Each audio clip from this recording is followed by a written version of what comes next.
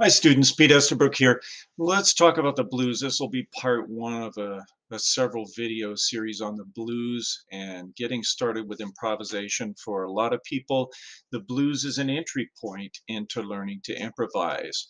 So kind of the first level without diving down into the harmony and the guide tones and that sort of thing, the first level to just get somebody playing I will often recommend that they use what I call the blues scale. It's a minor pentatonic scale with an added note, whether you call it a sharp 11 or a flat 5.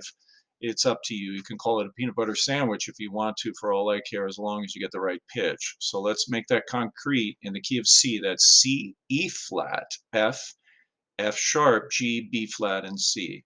So the minor pentatonic scale, C, E flat, F, G, B flat, with the added note G flat or F sharp, whatever, however you want to name it.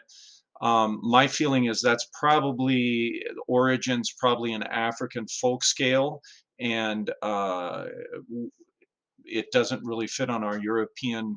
No, no folk music fits on our European Western tonal system very well.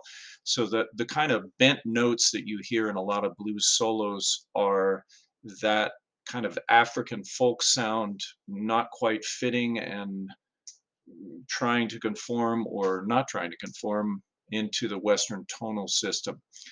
So that's what gives this sound, um, you know, if you just play those notes and you don't bend any of them, it doesn't quite have the sound that we're looking for. So the bent notes are do add that human quality to it. So that scale, if you look at it closely and you examine the changes in a basic blues, just a basic 5-4-1 blues, um, is made up of some of the important notes from each of the chords. So it allows you to kind of float or skate through a chorus of the blues without worrying about the individual chord changes. You'll hit some good notes. Some notes will clash, but that clash is the sound of the blues.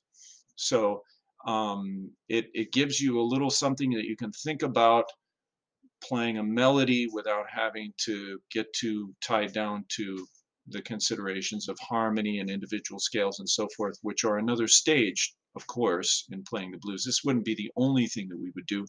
But I will say this, in, in all of the blues solos that I've transcribed, which is a fairly large number, probably two, 300 blues solos, most guys will reference that scale at some point during their solo. Is that all they do? No. Um, do they purposely avoid it?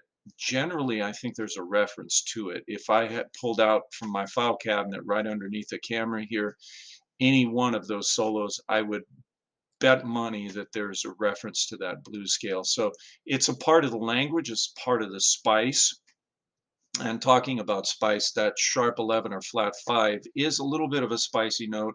We know Dexter Gordon liked to lay into it and hang out on it. But it's it's sort of like I think of it like cooking with salt. You want some, not too much. So use that with a little bit of discretion. Um, that note wants to either go up or go down. That's the tendency of that note. Um, so this will give you a way to get started with the blues. Use that blues scale. So if you're in the key of C, the blues is being sounded in the key of C. Use that blues scale, that minor pentatonic scale with the added note, and uh, give it a try as an entry point, and then don't completely abandon that as you move forward and working through harmony. Don't completely abandon that sound, but keep referencing it, come back to it.